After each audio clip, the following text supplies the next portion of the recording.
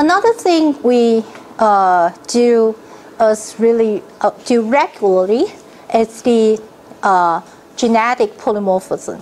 So for any given population, when we start with a survey at the particular interest of the gene or genes, then we'll say, okay, what's the polymorphism level in the population? And this becomes a very important uh, parameter or phenomena to investigate if we want to know the history of the population or any uh, evolutionary forces influence the population dynamics. So that's something we do really commonly.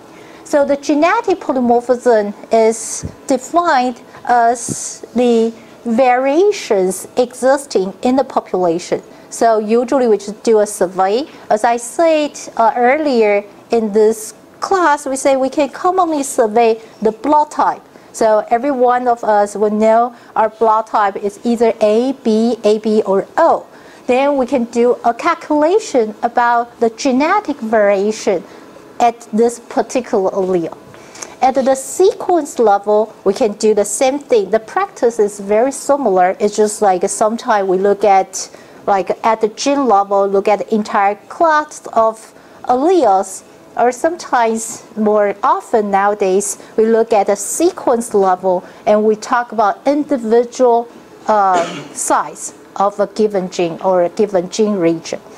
So if everyone is the same, then we say the population is monomorphic. If there's a polymorphism exists, means there's alternative alleles in the population, then we'll say it's a polymorphic.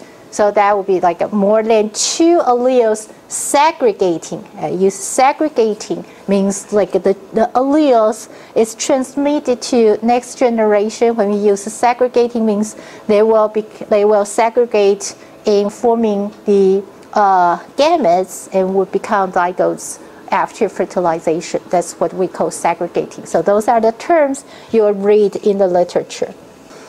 Now, when we want to look at genetic variation, then we'll repeat some of these formulas later when we're concerning about how to detect uh, the signature of selection. So, but this is sort of like a warm you up how we look at that.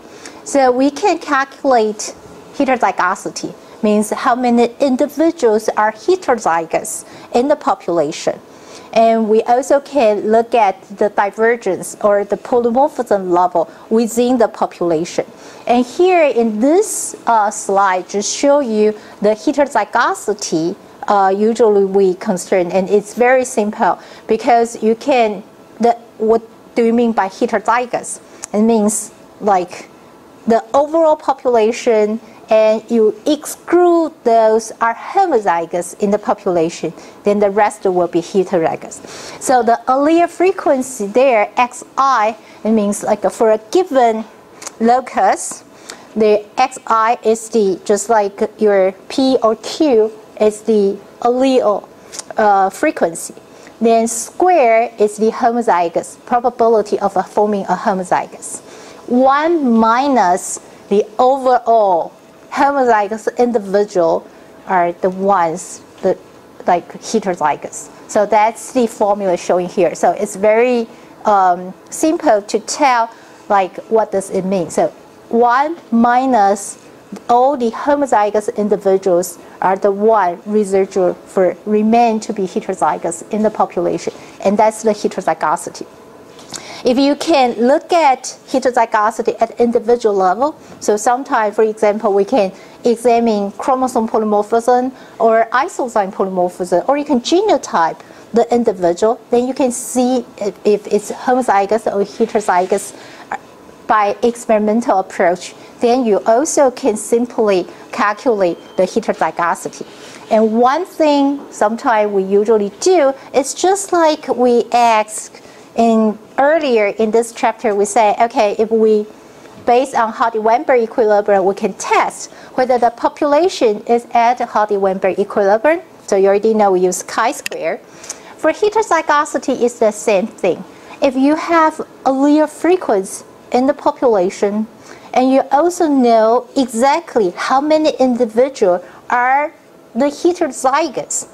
And you can use the allele frequency to calculate the expected heterozygosity, right? Because you have P and Q and you know exactly what P square and Q squares are. Then you say, okay, what's the ideal, what's the expected heterozygosity? That's 2PQ.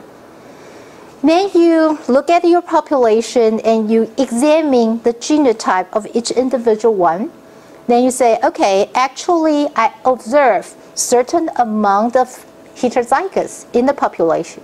And you can simply ask your observation and the expectation. And you can put the numbers together to ask whether they are fitting to each other, whether your observation are within the range of our expectation. So that can do a simple statistics test to tell you whether the heterozygosity is much higher than expected or the heterozygosity is much lower than expected. So that's something you, we also do as a, a common practice looking at whether there's any other parameters operating in the population.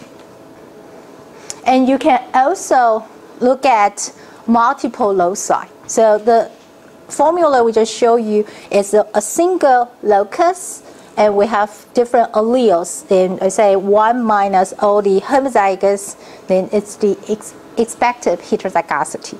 You can do very similar thing as the like for the multiple loci condition. So this is like the formula showing here.